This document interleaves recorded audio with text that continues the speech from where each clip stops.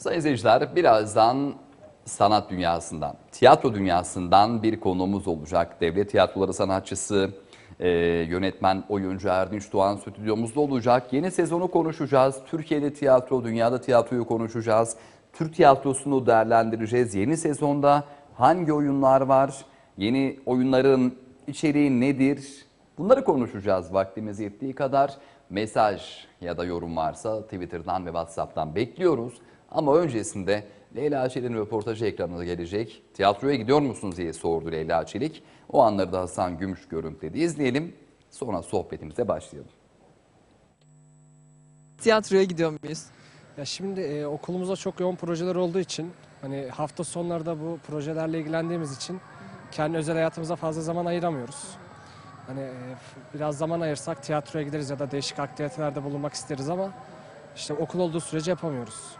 Tatillerde gittiniz mi peki? Tatillerle de daha çok e, böyle hani vücudumuzu dinlendiriyoruz. Kafamızı dağıttığımız için de öyle hiçbir şeyimiz olmuyor ki tiyatro kültürü de yavaş yavaş bittiğine inanıyorum. Yani artık tiyatro kültürü yok yani. yani en son e, ilkokulda gitmiştim. Ne hissetmiştiniz o zaman? Ya o zamanlar çocuktum. Ee, hani heyecanlanmıştım. Ondan sonra yani da anlam verememiştim. Çünkü sinemayla bayağı bir farklıydı.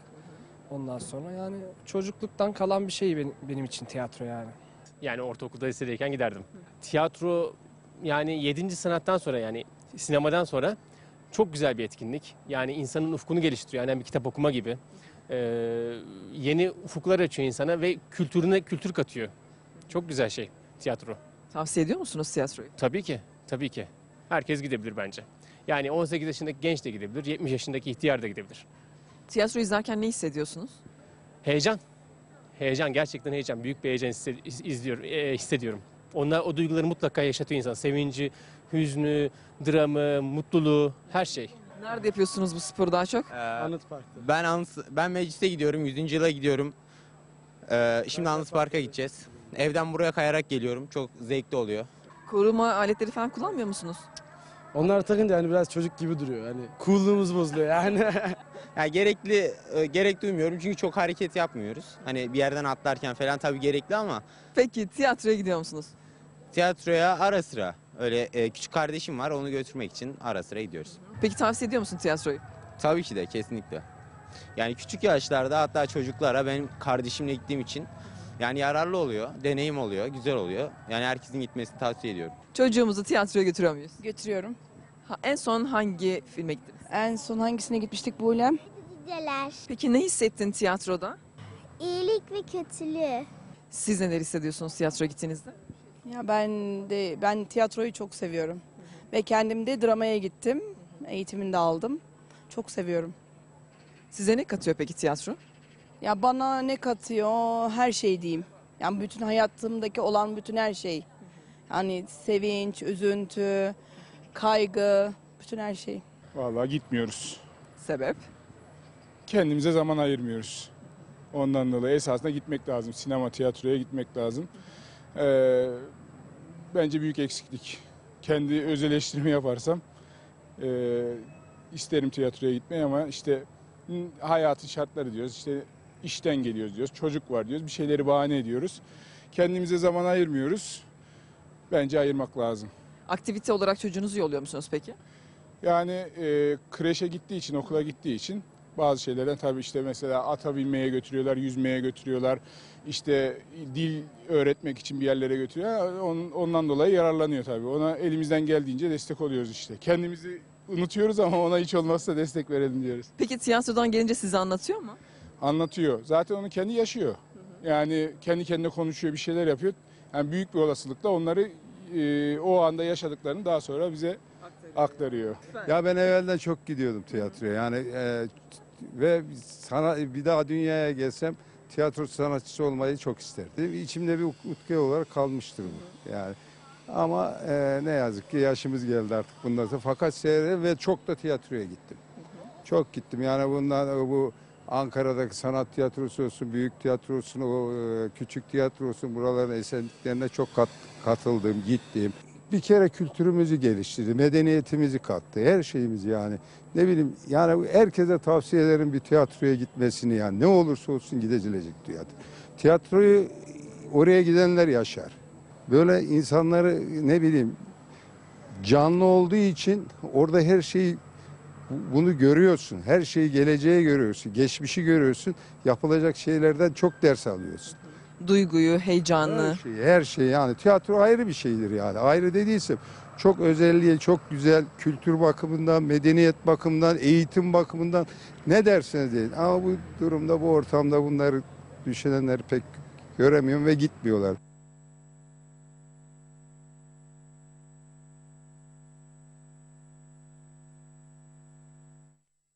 Tekrar stüdyomuzdayız değerli seyirciler. Devlet tiyatrolarında sezon başladı. Ee, güzel oyunlar var gerçekten. Renkli ve hareketli bir sezon olacak gibi tiyatro severler için. Yine heyecanla beklenen bir süreçti. Onlar için yaz tatili bir hasretle geçiyor aslında.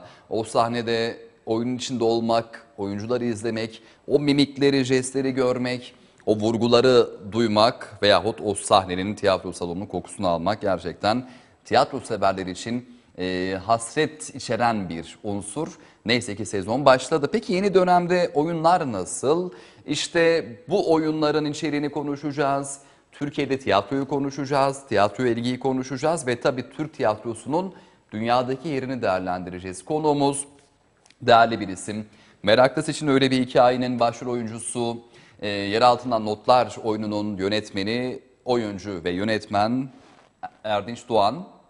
Onunla birlikte yarım saatlik bir sohbetimiz olacak. Vaktimiz var. Tiyatroyu enine boyuna değerlendireceğiz bu süre zarfında. Soru, fikir veyahut mesaj varsa Twitter'dan ve WhatsApp'tan bekliyoruz. Erdinç Bey hoş geldiniz. Hoş bulduk Nevi Bey. Çok teşekkür ederim davet ettiğiniz için e, tekrar. Buraya gelmek benim için gerçekten çok e, mutlu edici ve heyecanlandırıcı bir olay. Bu canlı yayınlar beni hep böyle bir heyecanlandırır. De- çok güzel bir cümle kurdunuz. Yani bizim için gerçekten de o yaz tatili böyle bir hasretle bir sahne e, sevdasının hasretiyle geçiyor ve e, sabırsızlıkla bitmesini bekliyoruz. Ve e, provalarımız, oyunlarımız başladığında da gerçekten büyük bir mutlulukla e, sahnelerimize, seyircimize kavuşuyoruz. Sadece sizin için değil, e, bizim için de öyle mesela. Tiyatro severleri için de o Haziran, e, Mayıs sonu Haziran'da bir nöbetçi tiyatro, nöbetçi oyunlar oldu. O da Evet, Temmuz'da falan bitti galiba değil Evet, mi? evet. Çünkü ondan sonra zaten büyük şehirlerde maalesef e, seyircilerimizin çoğu tatile gidiyorlar. Ve bu yüzden de e, seyircide ciddi bir e, azalma olunca Evet. da Ama işte kalanlar için de biraz böyle üzücü bir durum. O oyunlardan uzak kalmak, doğru. o doğru. heyecanı yaşamak hem sizin için hem seyirci için aslında Evet, evet. aynı ruh hali mevcut. Doğru, doğru. Yani e, tabii tiyatro aslında hiç bitmeyen bir sevda. Özellikle tiyatroyu sevenler, tiyatroyu e, izlemekten büyük böyle naif bir haz duyanlar için insanın içindeki o derinlerde yatan insanı ortaya çıkartan bir sanat dalı tiyatro. Yani bazen ben de öğrencilerimle konuşurken, tartışırken onlar diyorlar, hocam işte tiyatronun hedefi ne olmalı, tiyatronun amacı, odağında ne olmalı, işte tiyatronun temeli sanat mıdır? Hayır, tiyatronun temeli, amacı insandır diyorum. Yani tiyatroda e, temel alınması gereken şey, aranması gereken şey insandır. Hele ki bu dönemde yani bu kadar e, betonun yoğunlaştığı, elektronik, teknolojik aletlerin, telefonların, bilgisayarların her tarafımız sar, her tarafımızı sardığı ve dü- dünyanın küçüldüğü minicik bir telefonun içine sığdırıldığı bu zamanda o insani değerlerimizi hatırlatması açısından tiyatroya daha çok ihtiyacımız var. Belki sinemada ayrılan tarafı da bu bahsettiğiniz yeri, o mesela Evet, tabii. bilhassa küçük tiyatro, küçük tiyatro, büyük tiyatro. Bunlar hala o tarihi dokuya ve o tarihi kokuya sahipler Doğru, sahnesiyle, koltuğuyla. Ee, ve girince enteresan bir dünyaya girmiş gibi oluyor insan. Sanki Kesinlikle bırakmışız öyle. Günlük Evet. hayatı, teknolojiyi. Öyle ben o e, küçük tiyatroya Ankara'daki küçük tiyatro binasına ta çocukluğumda girmiştim. İlk defa da ilkokul dördüncü sınıfta Ben de bir çocuk tiyatrosu konser vermek için gi- girmiştik biz oraya. Ş- mandolin çalıyordum ve melodika çalıyordum. O zaman ilk konserimi küçük tiyatroda vermiştim ve onun tavanındaki o vitray kubbesinden çok etkilenmiştim bilirsiniz böyle. Evet. Ve oyunlara gittiğimde de da, ta küçükten itibaren 7-8 yaşından beri sağ olsun babam bütün oyunlara götürürdü bizi. Ben oyun başlamadan önce onun tavanına bakar, onun renklerinin ahengine böyle dalar giderdim. Rüyalara dalarsınız. Onun öyle güzel bir tavanı Büyülü, vardır. değil mi? Yanındaki o işlemeleri falan küçük tiyatro gerçekten bir tiyatro binası olarak e, dört dörtlük böyle tarihi dokusunu koruyan hoş bir mekandır. Oynanan oyunların değerini daha çok ortaya çıkartan bir mekandır. Oda tiyatrosu da öyle. Oda tiyatrosuna gittiğimde de yine e, Dinçer Sümer'in e, Maviydi Bisikletim oyununu izlemiştim orada ilk defa. Çok hoşuma gitmişti. Yani e, kendi yazıp oynadığı bir oyundu. Anılarını anlatıyordu. Böyle orada İzmir'in o sokaklarını, o yaşadığı, çocukken yaşadığı sevdaları e, çok güzel bir şekilde bize de yaşatmıştı ve daha sonra Çehov'un bir oyununu izlediğimde de o oda tiyatrosunun 50 kişilik e, sahnesinin seyirci e, e, ya 50 kişilik seyirci kapasitesi olan o küçücük sahnesinin ne kadar büyüyebildiğini ve hayallerimizde ne kadar genişleyebildiğini görmüştüm. Yani çok güzel bir yerdir. Gizemli bir yer. Sanki e, bazı kitaplarda öyledir. Yıllar Evet, önce bir evet. kitap okumuştum mesela. Tahran'da geçiyordu öyküsü. Ta yüzyıllar öncesinden bahsederdi. Orada yazarın biraz böyle metafizik unsurları kullandığını hatırlıyorum. Ve Evet. bir kapıdan Tahran'a giderdi ve oradaki hayatı yaşardı. E, tiyatroda aslında böyle galiba. Sinemadan biraz daha farklı bu konuda. Öyle yani hele siz küçük tiyatronun o bodrum katına bir inseniz orada o eski asansör hala duruyor. İşleyen bir Aa, evet. asansörü var. Cadde Evet o eski asansör de işliyor ama o işlemeyen bir de hiç görünmeyen bir asansörü var. Orası çok gizemli, çok ilginç bir yerdir. Yani o ortam hala e, şeyi koruyor. Peki şeyden bahsedelim biraz. Ee, yeni sezondan bahsedebilir miyiz? Sezon Tabii. başladı. 2 Ekim'de Tabii. premier yaptı galiba Yaptı. onlar e, Evet, çok yeni farklı oyunlarımız da var. Geçen yıldan devam eden oyunlarımız da var. E, İsterseniz Ankara ve İstanbul'da diğer bölgelerimizdeki oyunları kısaca e, Vallahi size çok iyi olur. e, söyleyeyim. Ankara Devlet Tiyatrosu'nda 2018-2019 e, sezonunda e, örneğin Akün sahnemizde Kış Masalı var. E, William Shakespeare yazdı. Baş rejisörümüz Hakan Çimenser yönetti. Ve çevirisini de Turan Oflazoğlu yaptı. Aa. Evet, Kış Masalı e, izlenebilir Akün sahnesinde. Bu yeni bir oyun galiba. Yeni Geçen bir oyun. yıl yoktu. Evet. Daha yoktu. önce yoktu galiba. Hayır hayır yoktu. Yeni bir oyun. William Shakespeare'in çok fazla oynanmayan, seyirciyle az buluşan değerli iyi oyunlarından biridir. Ee, yine Akün sahnesinde 23 İ- Ekim'den itibaren Özlem Lale'nin e, yazdığı ve bol ödüllü yönetmenimiz İlham Yazar'ın yönettiği Radyoyu Hümayun izlenebilir. Ge- e, Bu da önceki yıllardan e, devam eden başarılı oyunlarımızdan Kapalı biri. oynayan bir oyundu. hatta. Evet, evet çok güzel, e, eğlenceli bir oyundur. Altındağ sahnemizde Bilge Su Erenus'un yazdığı, e, Yavuz Sepetçi'nin yönettiği Misafir oyunu e, izlenebilir. E, Rahmetli e, e, hocam e, Profesör Nurhan Karadağ'ın e, anısına oynanacak bu oyunda. Ee, Cüneyt Gökçer sahnesinde Serhat Yiğit'in yazdığı ve e, yine başarılı yönetmenimiz Ba- Barış Erdeng'in yönettiği ikinci katil oyunu izlenebilir. Macbeth'in e, bir devamı gibi olan e, bir oy- oyundur. İlginç bir oyun. Ee, 16 Ekim'den itibaren de He- Helen. Edmondson'ın e, Tolstoy'dan uyarladığı An- Anna Karenina Aa, Evet, e, İpek Atagün Gezener yönetti. Bu da Ankara'nın e, prestij oyunlarından biridir ve çok ilginç, güzel bir e, sahnelemesi var. E, buradan İpek'i tekrar tekrar tebrik ediyorum.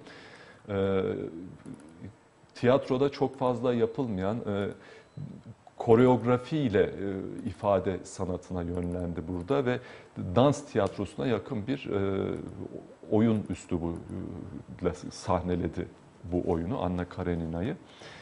E, Oda tiyatrosunda Ahmet Öner'in yazdığı ve Ali Meriç'in yönettiği modern bir meddah üslubuyla oynanan Eyvah Nadir oyununu izleyebilir seyircilerimiz. Daha sonrasında da Patrick Süskind'in yazdığı ve Hale Kuntay'ın dilimize kazandırdığı, Metin Belgin'in yönettiği ve sevgili dostum Olcay Kavuz'un yıllardır başarıyla oynadığı ve Kontrbas. bütün e, ödülleri topladığı kontrbas oyunu izlenebilir. E, stüdyo sahnede Alexander Gelman'ın yazdığı ve Belgi Paksoy'un e, dilimize çok güzel bir şekilde kazandırdığı Bankta iki kişi benim e, yönetimimde seyirciyle buluşmuştu geçen yıl. Bu yıl da devam ediyor. İsmet Numanoğlu bu oyundaki performansıyla Baykal Saran en iyi oyuncu ödülünü kazandı. Bu da bütün ekibi mutlu eden bir haber oldu. Ee, tabii bu oyunda e, oyunun e, diğer başrol karakterini oynayan Berna Konur'un da büyük katkısı var. Çünkü iki kişilik oyunlarda tek başınıza başarılı olmazsınız. Diğer oyuncunun sayesinde de o başarıyı kazanırsınız. Bu çok önemlidir. Ee, her ikisini de kutluyorum bu performanslarından dolayı. Ee, 16 Ekim'den itibaren yine stüdyo sahnede Hatice Gülsün Kınal'ın yazdığı ve Funda Mete'nin e, yönettiği Tolstoy ve Anna oyunu izlenebilir. Bu oyunda 3 yıldır başarıyla seyirciyle buluşuyor. Küçük tiyatroda Necip Fazıl Kısaküre'nin yazdığı Reis Bey oyununu Özer Tunca yönetti. Bu yıl e, seyircimizle buluştu. Ziraat sahnesinde Firuza'nın yazdığı ve Eray Eseroğlu'nun yönettiği Sevda Dolu Bir Yaz.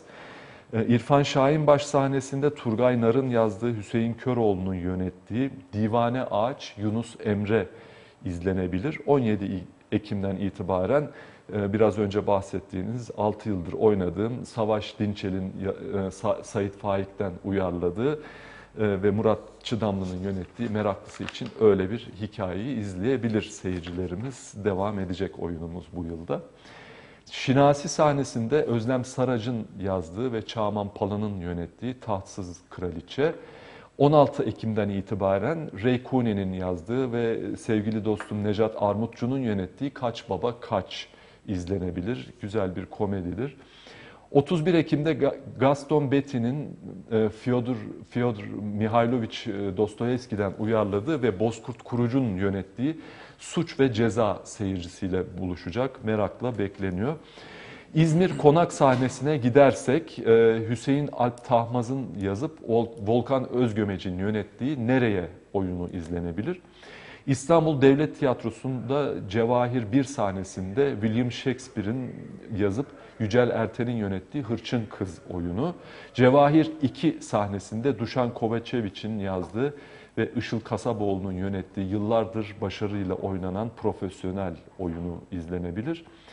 16 Ekim'den itibaren yine aynı sahnede Mehmet Baydur'un yazdığı ve Serap Eyüboğlu'nun yönettiği Düdüklü'de Kımya- Kıymalı Bamya oyunu var. Bursa Devlet Tiyatrosu'nda e, geçen yılın ve bu yılın e, temalarından e, biri e, kadın şiddet, toplum içinde kadının yeri e, konularını iz- e, işleyen oyunlar sahneleniyor bu yılda. E, Duygu Ergun'un yazdığı ve Ece Okay'ın yönettiği Barbara'nın Doğum Günü izlenebilir. Ve yine e, kadın sorunlarını işleyen e, Kadın Sığınağı'nı Adana Devlet Tiyatrosu'nda Tomris Çetinel yönetti ve Tuncer Cücenoğlu yazdı.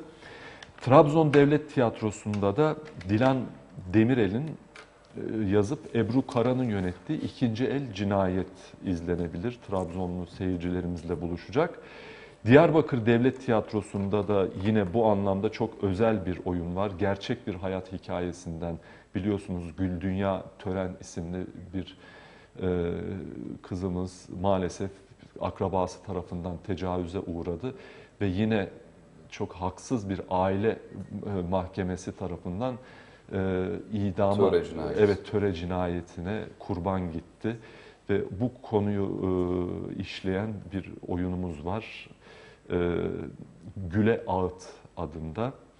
Deniz Altun Diyarbakır'da yazdı. değil mi Evet, oyun? Diyarbakır'da Deniz Altun'un yazdığı ve Ebru Nil Aydın'ın yönettiği bir oyun. Antalya Devlet Tiyatrosu'nda Elif Solağan yazdığı ve Ezgi Yentürk'ün yönettiği e, Zümrüdü Anka oyunu izlenebilir. Erzurum Devlet Tiyatrosu'nda Filiz Adı Güzel'in e, yazdığı ve Kader Gözpınar'ın yönettiği Ufak Bir Hata. Konya Devlet Tiyatrosu'nda Ceren Olpak'ın yazdığı Gün Anneme Gebe ve e, Gülsüm Çiçekçi'nin yazdığı Nefes adlı iki yine kadın sorununu işleyen oyunu Defne Yalnız yönetti. Birinci perdede biri oynanacak bu oyunların, ikinci perdede diğeri oynanacak. E, iki kısa oyun yani tek bir oyun değil. Bu tip denemeleri yapıyoruz devlet tiyatrolarında. Sivas Devlet Tiyatrosu'nda Kurt Fletov'un yazdığı ve Selçuk Sazağ'ın yönettiği Kendime Kıyamam isimli bir e, komediyi izleyebilir se- seyircilerimiz. E, 18 Ekim'den itibaren de John Bushman'ın yazdığı, Volkan Gündüz'ün yönettiği 39. Basamak. Van Devlet Tiyatrosu'nda Sabahattin Kudret Aksal'ın e, kaleme aldığı ve Murat Çıdamlı'nın benim de e, çok sevdiğim bir yönetmen. Benim oyunumu da yönetmişti. Sevgili dostum Murat'ın Ve yönettiği. siz de onun oyununu yönetmiştiniz Evet, galiba. ben Yer altından notları oyunu- yönetmiştiniz. Evet, yer altından notları yönetmiştim. Ee, o da çok güzel oynamıştı. Kahvede Şenlik Varı e, oynayacaklar Van Devlet Tiyatrosu. 25 Ekim'de Behiç Akın yazdığı ve yine e, sevgili dostum Halil Akarsu'nun yönettiği Fay Hattı izlenebilir. Bu da ilginç, güzel bir oyundur. E, turne bölgelerimizde de e, Gaziantep'te, Kahramanmaraş'ta, Elazığ'da, Çorum'da, Zonguldak, Samsun, Malatya ve Ordu'da da bütün bu oyunlar sırasıyla e, gösterilecek. Hali yoğun bir sezon olacak. Baktığımız zaman en çok oyun galiba Ankara'da. Ankara bu yönden biraz şanslı, Şanslı. diğer Ankara'nın kentlere sahnesi göre. biraz daha fazla. Evet, Cumhuriyet kenti olmasının e, şeyiyle, avantajıyla evet. O, o yüzden Ankara'da çok fazla sahne kuruldu. Hala da kurulmaya devam ediyor. E, darısı diğer şehirlerimizin başına. Var mı yeni kurulacak sahne Ankara'ya dair? Ee, Ankara'da şu anda e, yok ama e, hazırlıklar olduğu söyleniyor. Yani şu anda yeni sahne yok. Ama daha öncesinde açılan, e, mesela geçen yıl açılan ziraat sahnemiz var. Pardon iki yıl önce açıldı ziraat sahnemiz. O yeni bir sahne. Ziraat Bankası'nın devlet tiyatrolarına e, devrettiği bir sahne. Ee, Sevimli, güzel bir sahne. Yer altında bir sahne. Zaten yer altında notlarla açılışını yaptık. Evet. Güzel bir sahne. Ee, Onun dışında 75. yıl sahnemiz uzun süredir kullanılmıyordu. Bu yıl tekrar kullanıma girecek. Aa. 75. yıl sahnesi. Mithat Paşa Caddesi'ndeki. Evet, Mithat Paşa Caddesi'nde. Öyle. Hareketli bir sezon, güzel bir Evet, sezon olacak. evet. Bazı oyunlar geçen sezondan gelen oyunlar ve ço- çoğu da yeni galiba epey bir yeni oyun var. Evet, o yeni gelen oyunları neye göre belirleniyor peki? Neden hala devam ediyor? Şimdi yeni gelen oyunlar, e, tiyatro biliyorsunuz halkına bir söz söyleme sanatıdır. Yani halkıyla bir şeyleri paylaşma e, ortamıdır. E, biz de her yıl e, sevgili halkımıza bir sözümüzü iletmek, toplumsal bir sorunu onlarla paylaşmak için oyunlarımızı seçiyoruz. Örneğin bir göç problemini, göç göçün insanlar, e, toplumlar üzerinde açtığı yaraları işleyen bir nereye oyunu Ankara'da da oynanmıştı. Volkan Özgömeç bu yıl e, bu göç oyununu şimdi e, Adana'da sanırım tekrar sahneleyecek. Pardon İzmir'de çok özür diliyorum. İzmir'de sahneleyecek. Ve yine işte kadın sorunlarını işleyen e, oyunlar ve özellikle de kadın yazarların ve kadın yönetmenlerin e, yönetiminde sahneleniyor. Onların e, daha hassas bakış açısıyla işle, işleneceği düşünülerek.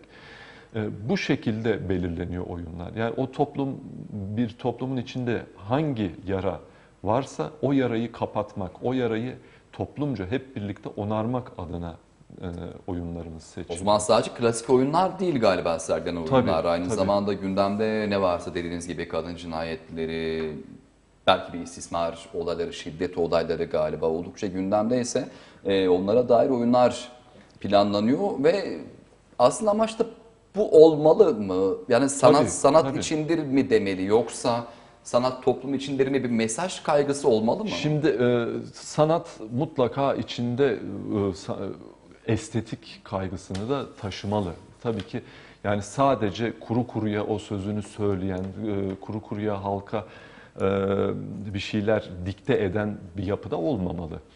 E, fakat bu sözünü söylerken halkın gözünü, o estetik duygularını doyuran, ona mutluluk veren bir yapı içinde de olabilmeli. Çünkü tiyatro bütün sanat dallarının toplandığı, bütün sanat dallarını içeren bir e, to- total bir, bütünsel bir sanat. Yani tiyatronun içinde resim var, mimari var, e, müzik var, dans var. He- Hepsinden çalmış tiyatro ve bunları en iyi Şiir şekilde. var zaten. Şiir var zaten, edebiyat, roman, hikaye. E, bütün bunları en iyi şekilde yoğurup halkıyla e, paylaşması gerekiyor ve tabii ki bir estetik kaygı e, içermesi gerekiyor ve bunu yaparken de sözünün de çok sağlam, düzgün e, olması gerekiyor. Ya toplumdaki insanlar bunu iz- bir oyunu izlerken ya bu benim hayatımda gerçekten var ve evet ben de bu durumu yaşıyorum. Ha, evet şu adam benim. Aa ben böyle davranmıştım. Ya evet gerçekten kötü yapmışım diyebilmeli. Yani tiyatro bunu dedirtebilmeli insan. Ama güzel sanat eserleri öyle değil midir zaten? Mesela güzel bir şiirde insan kendinden bir iz bulur. Romanda Tabii, kendine benzeyen bir karakter ya da kendi, kendi yaşadığı bir e, olaya dair bir iz vardır. Bravo, Tiyatro oyununda bravo. kendine dair bir iz vardır. E, belki bazı insanlar daha çok biçeme ya da biçime bakarak değerlendirir eserleri ama e, çoğumuz da genelde bizden bir iz varsa Mutlaka. orada bravo. kendimizi görürsek seviyoruz ve beğeniyoruz. Yani evet, evet evet. Sevgili hocam Ergin Orbey'in çok güzel bir sözü vardı. Yani güneş altında söylenmemiş söz yoktur diye. Yani insanın sorunları çok fazla değişmiyor. İnsanın kişiliği, ahlaki problemleri, toplumsal problemleri çok fazla değişmiyor. Hatta ben ona demiştim ki biraz da böyle e, şey itiraz eden öğrenci olarak gençliğimizde her şeye itiraz. Ama hocam anlaşılan fazla bir söz de yok demiştim. Ondan sonra o da bana döndü çok olgun bir tavırla dedi ki e işte şimdi sizin göreviniz de dedi bunu farklı şekillerde farklı üsluplarda seyircimize anlatmak demişti. Ve e, evet bunu farklı e, üsluplarda bizim seyirciye e, iletmemiz gerekiyor. Zaten klasik eserlerin en güzel tarafı düşünün e, Aristofanes adında bir yazar milattan önce 5. yüzyılda bir oyun yazmış ve işte veya Euripides e, veya Sofokles Kral Oidipus'u yazmış veya Antigone'yi yazmış. O oyunun içindeki ahlaki değerler hala bugün geçerli. O oyunun içindeki adalet, hukuk unsurları, e, devlet yönetimine dair eleştiriler hala bugün geçerli. Geçerliliğini koruyor. Yani o, o adam o gün devlet mekanizmasını eleştiren bazı cümleler kurmuş. O e, oyunu bugün hangi ülkede oynasanız o ülkenin adalet mekanizmasını eleştiren bir e, oyun oynuyormuş durumuna e, giriyorsunuz. Çünkü insan ne kadar değişen bir varlık olsa da bir şeyler değişmiyor. O Değişmiyor, insanın değişmiyor. ilkel bir hırsı var ya. Evet, o sürekli bir kazanma, sürekli Gerçekten. yeryüzünden bir pay alma hırsı Bravo, ve yeryüzünü bravo. parselleme hırsı değişmediği için eee şey değişmiyor. Oyunlar da değişmiyor, tavırlar ve eserlerdeki o tema da değişmiyor. Mesela ikinci katildeki o hırs. eee, Bravo, evet. Sonra Macbeth'teki yine statü İktidar hırsı, hırsı, iktidar evet, hırsı. evet, ve aynı yani yıllar önce yazılsa da günümüze getirip koysak da dünyanın neresinde olursa olsun Evet. insanlar her yerde aynı galiba. Doğru doğru. Yani insanlar hep böyle bir toprak parçasını, bir yeri e, e, kapatıp kendine almak istiyorlar. Zaten bu konuda yazılmış çok güzel bir eser var şimdi aklıma geldi tekrar. Ee, Bertolt Brecht'in Kafkas Tebeşir Dairesi adında bir eser. Ee, şeyde oyunun başlangıcında bir toprak işte köyde toprak paylaşımı yapılamıyor bir tartışma çıkıyor ve e, şu tartışma ortaya atılıyor. Toprak oranın e, tapusunu elinde tutan kişi midir? Yoksa orayı işleyip orayı güzelleştiren, oradan bir ürün, verim alıp katkıda bulunan kişinin midir? Olayı üstüne bir hikaye anlatıyor oradaki kö- köylülerden bir tanesi. E, o hikayede şu, e, çocuk e, acaba onu doğuranın mıdır Yoksa onu e, besleyip büyüten ve ona emek verip e, ona bir kişilik kazandıran kadının mıdır çocuğun annesi? E, Bu hikaye üstünden işleniyor ve e, bir mahkeme kuruluyor. Hakim ortaya bir tebeşirle bir daire çizdiriyor ve iki tarafa iki anneyi koyduruyor. E, Hadi bakalım diyor çekin. Bu çocuğu kim çekerse diyor anlayacağız ondan sonra bu çocuğun kime ait olduğunu diyor. İki tarafından çocuğu tutuyor iki anne.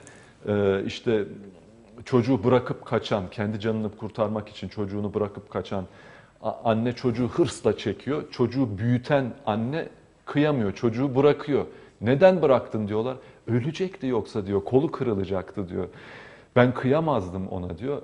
Hakim karar veriyor. Tamam diyor. Çocuk e, çocuğu bırakan, onu büyü- onu büyüten daha doğrusu kişinindir diyor. Ona kıyamayıp onu çekmeyen Emek veren annenindir. kişinin. Emek veren annenindir diyor. Peki bu arada 3 dakikamız var. Öyle mi? Ne çabuk bitti. Ben çok gevezelik ettim. Kusura bakmayın size hiç soru sordurmadım. Yok yani sizi konuşun diye çağırdık zaten. Ve konuşan konuk güzeldir, iyidir. Spikeri çok sunucu çok yormaz. Ee, son sorum şu olacak ki 3 dakikaya anca sığar. Meraklısı için öyle bir hikaye bu yılda oynanacak. Kaçıncı sezon oldu? Altıncı sezon. 6. Evet. Emekten bahsettiniz ya bir oyuna çok emek veriyorsunuz. Tek başınıza oynadığınız bir oyun. Ee, gerçekten güzel bir oyun. Emek verdiğiniz oyunu bir süre sonra bir kenarda bırakmak, artık oynamayacak olmak üzüyor mu oyuncuyu? Çok, çok güzel. Çünkü besleyip ben- büyütüyorsunuz. e, evet, evet öyle oluyor. Yani o gerçekten e, sizinle birlikte gelişiyor çünkü o oyun. E, Siz bir taraftan bir hayat yaşıyorsunuz, yeni insanlar tanıyorsunuz, e, yeni hayatlar görüyorsunuz, yeni sanat eserleri görüyorsunuz ve o gördüklerinizi bu oyunun içine katıyorsunuz ister istemez. Çünkü değişiyoruz her gün. Ve o sizin o oyun sizinle birlikte büyüyor. Yavaş yavaş tam sizin kalıbınıza oturuyor. Yani ilk aldığınızda o oyun sizin içinizde bir çocuk gibi. O oyun büyüyor, büyüyor sizinle birlikte. Sizin içinizi dolduruyor ve sizin kalıbınıza oturmaya başlıyor ve onunla birlikte e, yol almaya başlıyorsunuz ve daha sonrasında bırakınca çok büyük bir boşluk hissi oluyor tabii. Yani insanın sevgilisine ayrılması gibi bir şey olacak. Aa, Evet, dostunu evet, aynen bırakması Yani be- gibi. beyninizin hücrelerini haline geliyor ve o hücreler bir süre sonra ek- eksilmiş oluyor. Çok zor bir şey.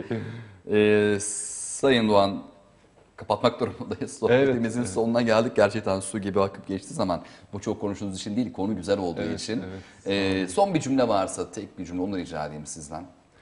Ee, son cümle ben e, tiyatroya yakınlaşan herkese sevgilerimi sunuyorum.